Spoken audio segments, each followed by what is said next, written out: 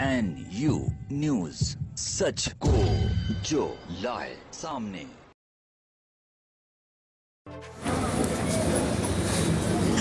देश और दुनिया के तमाम खबरों को देखने के लिए आप देख रहे हैं न्यायिक उजाला न्यूज़, सच को जो लाए सामने। जय हिंद साथियों। खबर है बरेली से। जिला बरेली, उत्तर प्रदेश चतुश्रेणी कर्मचारी मानसिक चिकित्सालय में आज चतुर्थ श्रेणी कर्मचारी का चुनाव कराया गया। चुनाव अधिकारी अंजलि सिंह और सहायक चुनाव अधिकारी नरेंद्र पाल की निगरानी में चतुर्श्रेणी राज्य कर्मचारी का चुनाव कराया गया।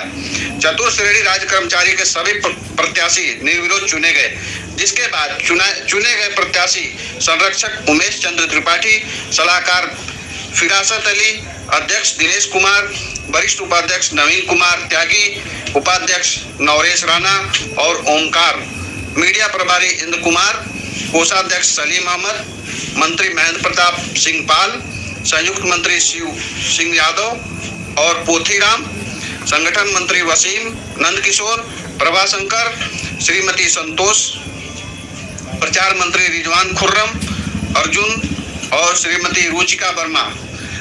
आय व्यय निरीक्षक देवकी नंदन, यह सभी प्रत्याशियों के निर्विरोध चुने जाने के बाद मुख्य अतिथि के रूप में डॉक्टर अनुराधा सिंह एवं डॉक्टर अखिलेश शर्मा जी उपस्थित रहे और सभी प्रत्याशियों का फूल मालाओं से स्वागत किया गया।